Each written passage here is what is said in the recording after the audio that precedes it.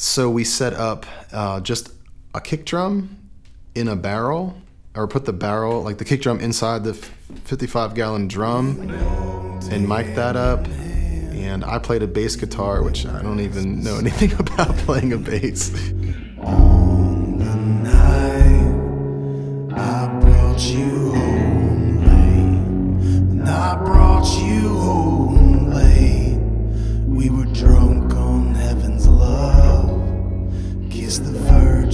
What spoke to me a lot about this song was I liked that uh, it kind of had this old timey blues thing, like where the where the vocal line hooks onto the guitar lick.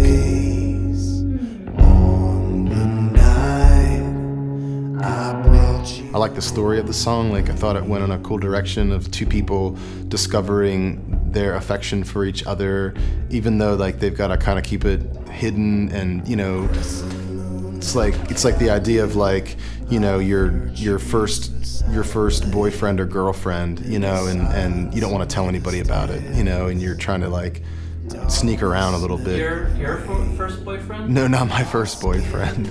Maybe my second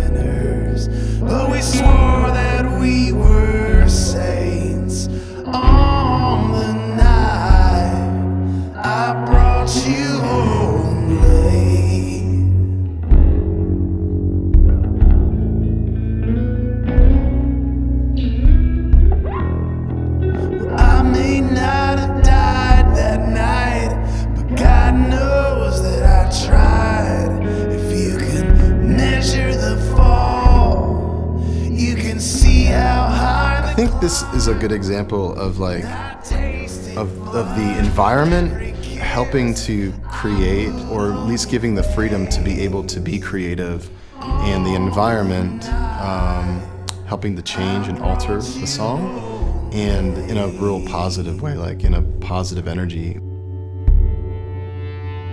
when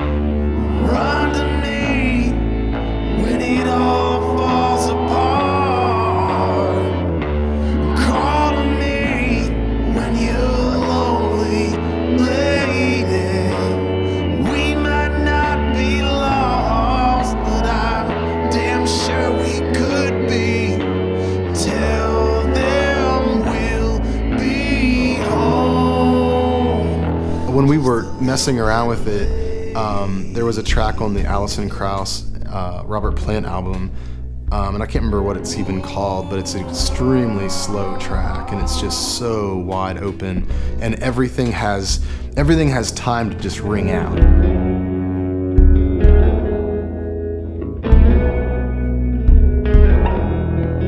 The elements of the song that I was really, really hanging on to was that kick drum inside the barrel, and I love that sound. I love the tone of it, and all the weird overtones that we were getting.